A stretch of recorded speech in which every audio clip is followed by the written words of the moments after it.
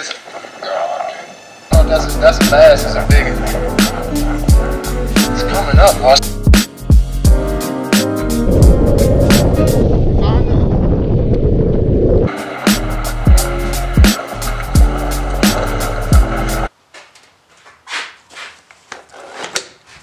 We have my spoon right here. Let's talk a little bit about how I like fish a spoon. I mean, there's so many of them though. Dude, there's like hundreds of fish here. God dang! Dude, he locked it so good. The fish streaking over the top right there. There's a few fish down there on the bottom.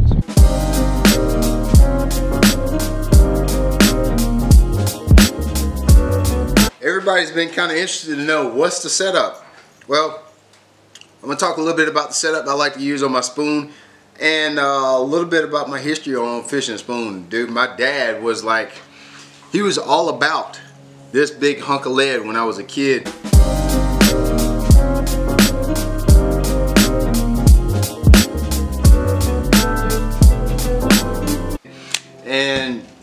One thing that makes it interesting, you know, it's easy. When you're fishing a spoon, it's really all about finding fish. Once you find a fish, you drop this big hunk of lead down there, you hop it a couple times, and pretty much that's really all it is to it. It's really not a whole lot of magic, not a lot to tell you about when it talks about hook, line, and sinker on this particular video, but the biggest part of spoon fishing is finding the fish. Which leads me to one of the things that I find is most fascinating, and interesting about my pops growing up back in the day. I um, I was born in the 80s. I'm an 80s baby, right? My dad was was really big into tournament fishing during the 80s. And he used to fish a spoon a lot when I was when I was a kid. When I was a kid, we we fished it a lot. Matter of fact, I'm going to try to show you some of the homemade spoons that we used when I was a kid too. I still got some of those. But the handmade spoon that I grew up using is this one right here. This is Mr. Harder's Spoon from back in the day, and I've only got a couple more left here. There's another one. That by far is my favorite color. It's my favorite color to the point where I don't even like to use them. We call that multicolor, is what we call it here in South Carolina. Um, you'll never find another bait period with that particular color pattern on it. In my area, it's just a just a bait that works really well. And before we had a drop shot, and before we did what we called in the in the 90s a doodle worm, and way before we started drop shotting, this was the bait that we used to catch fish in 20, 25, 30 foot of water. Now, with that being said, you got to remember in the 80s, even the early 90s, we didn't have graphs on the front. My dad actually used to go and find these places. He had a paper graph on the console. You would go around and you would find bait fish, find structure, whatever you could find that you found at home looking at a paper map. You go out on the lake and you try to figure out where that exact, that exact structure was. And then you got up on the front, when you actually started fishing, you were actually using a flasher. And he could tell when there was bait under him, he could tell when a fish was on the bottom, he could see his bait go down, all on a flasher. This little 7 8 inch spoon on a flasher. So that's pretty interesting, I think. But it's a technique, age-old technique that I never forgot. I never put it down. I think it's, I think it's, uh, it's obviously still catches a lot of fish. It's a fun way to fish because you're going to catch a lot of fish when you put a spoon in your hand. This is my jigging spoon rod, 6'6". This is a medium heavy favorite Defender series right there. There's the reel. You can check it out. Abu Garcia. This is an Abu Garcia SX Revo XX.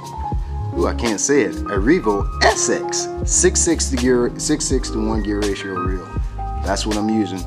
25 pound test, fluorocarbon. That's 25 pound test, red label from Seaguar. I'll leave a link in the description box for all the equipment that I mentioned here. That's a good guy right there. Probably the most important thing I can tell you when, when you're talking about fishing a spoon is the line. I've learned over the years the bigger the line you use on a spoon, the better. In this situation, limp is a bad deal. You want your line to be fairly stiff so it doesn't recoil and get around the uh, get hooks of your bait. It's terribly aggravating. So I'm using 25 pound test Seaguar red label is what I like to use here. This is a War Eagle 7 8 white spoon. You've seen me fish it already. Only tweak that I do to it. I don't really care for a feather hook because that makes it fall slower. And then when I see fish on the graph, I want to get it down. I throw just a regular hook. Let's look at the hook that I like to use. Treble, are.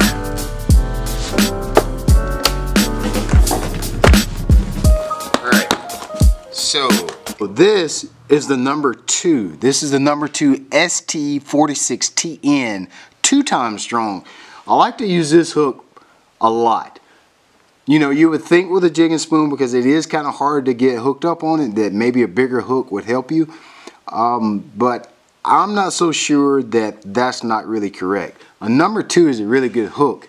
Um, I think when you, with a bigger hook, you oftentimes give the fish a little bit more leverage and you only got one hook where you're talking about a jigging spoon so you got to make it count and this is a good strong hook you want a strong hook because I mean that's you're gonna hang up a lot with a jigging spoon and um, you want your hook to be a pretty durable one that guy right there does a trick this is the one that I've been using this is a number one and this one this particular one right here is the STY35MF.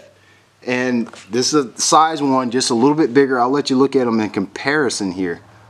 Let's look at those hooks in comparison right here. You can see the number two in comparison to the number one. This is the one I'm actually fishing. I like this one better for striper, and I've been catching a lot of striper. And not necessarily in competition. If I was using this in an event, I would definitely be using the number two. I just feel like you can keep them pegged with that one a little bit. You see with that extra wide gap that you got on the number two, you know, maybe you kind of prick them better, but also you give him a lot of leverage to get off with that extra wide gap there. When I pin him on this number one, when I snag him, there's not a lot there to play with for him to get off. So that's my preferred hook right there. So also one thing you need to remember when you're fishing a jigging spoon, it is very important. This is the number one thing that I see people mess up with when fishing a jigging spoon is you have to maintain vertical line position.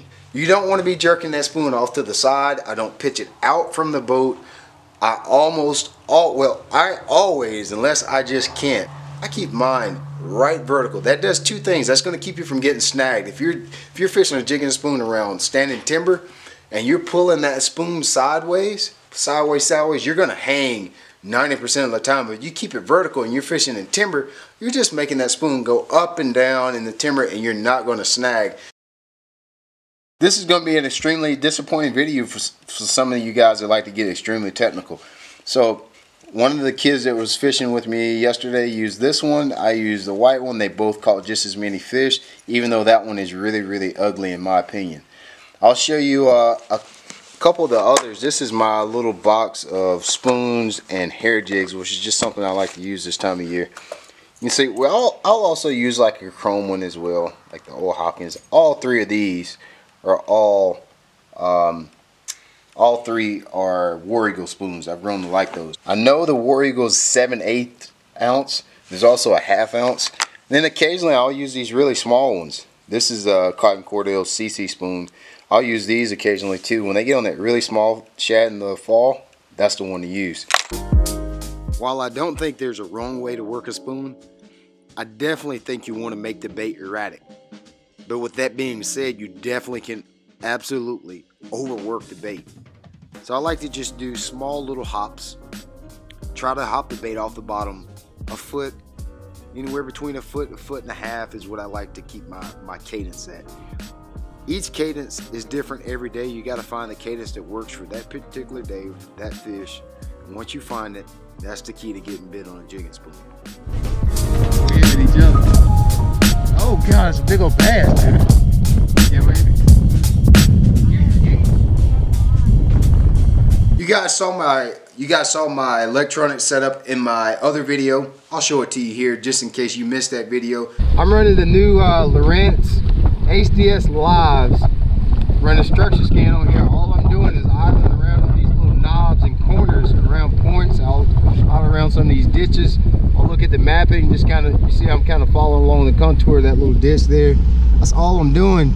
And looking for balls of bait, looking for little depressions, stuff like that. So I'm using this unit predominantly.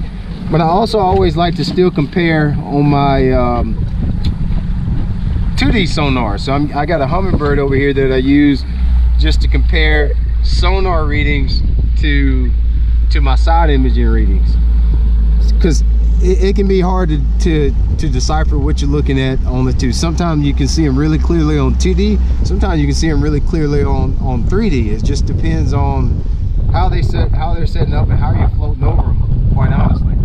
So that's the two units I'm using on the console. Mapping is real important. I'm always looking around high percentage places, points, depressions, creek channel swings, uh, road beds. That's the only thing we've been fishing today. What I'm using up front is, uh, up front I'm using a uh, same HDS Live 12 and I'm running just the uh, HDI transducer up there.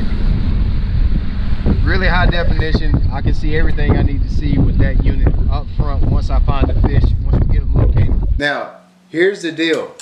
The most important factor when fishing a spoon. We talked about this. I just mentioned it when I was talking about my dad and how he used to fish it back in the day. What's the most important thing is where they at, where the fish at. When I pull in these high percentage areas, I, I look, it's basically three or four places that that's really all I look around when I'm looking for fish on a spoon. Those three or four places that you can always find them.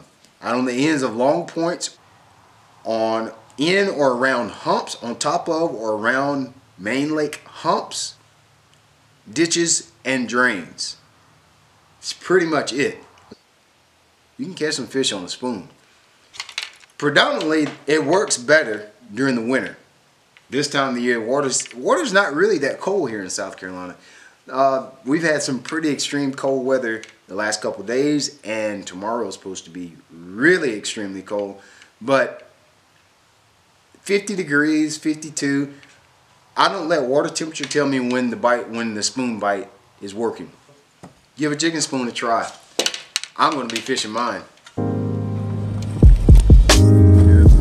Fish right there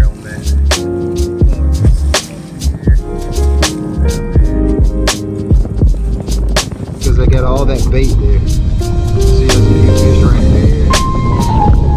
I grabbed